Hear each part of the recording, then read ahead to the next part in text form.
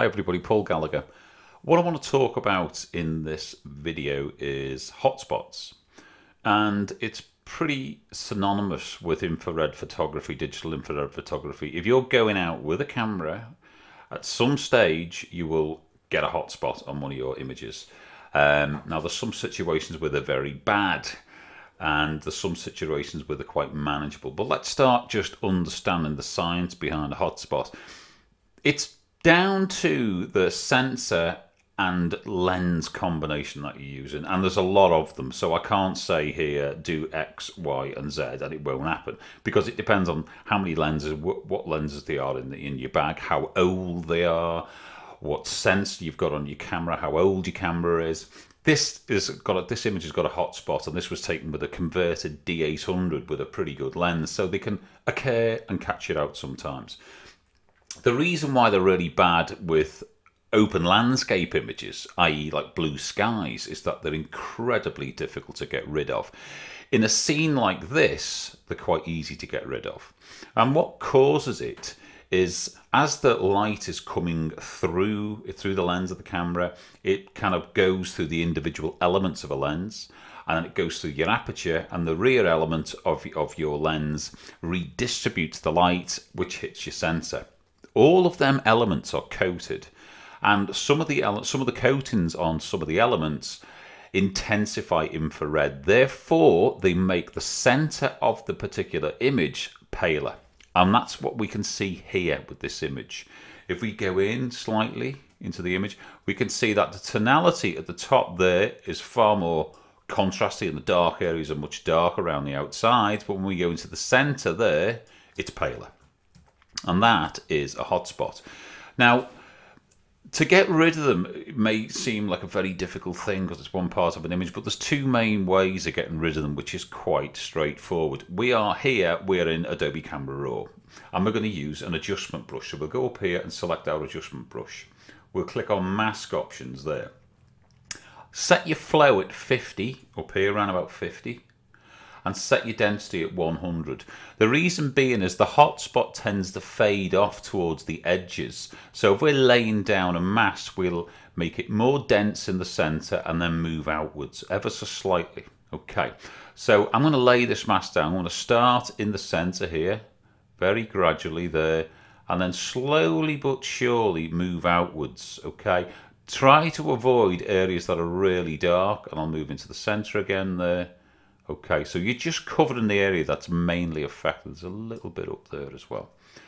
Now I'm going to uncheck the mask. Okay, we've made no adjustments yet, but we can see from the pin where our adjustment at the center of our, our adjustment will be. And then what we're going to do is we're going to tease the exposure down a little bit, ever so slightly, not too much, and then tease our blacks down ever so slightly. And what we can see now is the hotspot is beginning to vanish and there it is, it's gone. Okay, so quite a straightforward process. We see before and after, we do that, and that's where our hotspot was in the center of the image. Now that tonality in the center kind of more or less matches. We could probably go a little bit further on the blacks, maybe actually, a little a teeny bit further, like that. Okay, but how do we do this in Photoshop and what do we do? Well, I want to cancel that now. Okay, and is the image in Photoshop? Okay, now I'm going to get a lasso tool here. Now, and then I'm going to set a feather. For this hotspot in this particular image, um, the feather of 130 is about right. Okay, but that once again depends on the, the pixel dimensions of your particular image. That's what it depends on. If you're using a 6 megapixel old camera that you've converted to infrared, then the feather will be smaller. If you're using a GFX at 50 megapixels, then the feather will be bigger. It's down to the pixel dimensions of your camera. But the principle still applies. We want a nice soft feather so it fades off. We can see the difference between tonality here and here is different, but it fades quite quite significantly. It blends in. It's not a hard circle in the middle of the image. Now, talking of hotspots and how it's caused, I mentioned about lenses and coatings. Hotspots are more intense and more obvious the more you stop your lens down. So if you can shoot a scene in infrared and shoot it at f8, then shoot it at f8. If you don't, if depth of field isn't critical, shoot it at f8. If you shoot it at f16 or f18 and you're at risk of getting hot spots, it will be far more apparent at a smaller aperture. And hot spots are most dominant on bright days, hence this day here. The sun's coming right from the, through the thin canopy of the trees, and I was pointing the camera towards the brightest part of the scene. Therefore, the hot spot has been created by that intense sunlight coming through all the elements of the lens to the sensor. That's what's caused it. So with using a lasso tool, what we need to do is just cover the areas, get close to the areas that we think are affected by the hot spots. Okay, so we can see these greys here. They go round there, a little bit on that tree, but not too much round there and round to there. Okay, so if we go into quick mask over here now, and click on that, we can see that that's basically the location of our hotspot, which as I said is right in the center of the frame.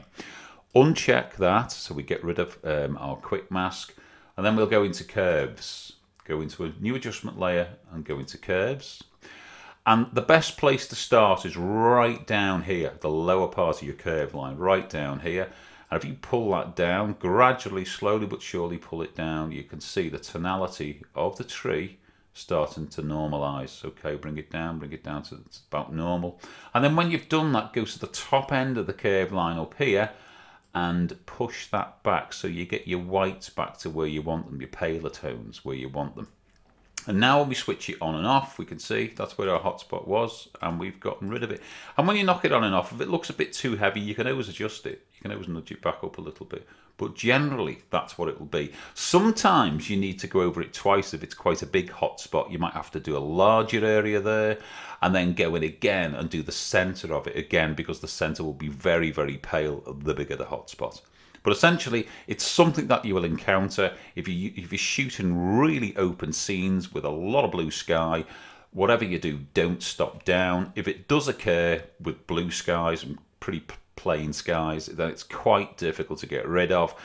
But don't fret, in woodland scenes, it's pretty easy to disguise and get rid of. And in some circumstances, by the time you've gone over your process and adjusted your image, a lot of it's gone anyway. So don't worry about it. But yeah, you probably will get hotspots, but that's the way around it. Thanks a million for listening.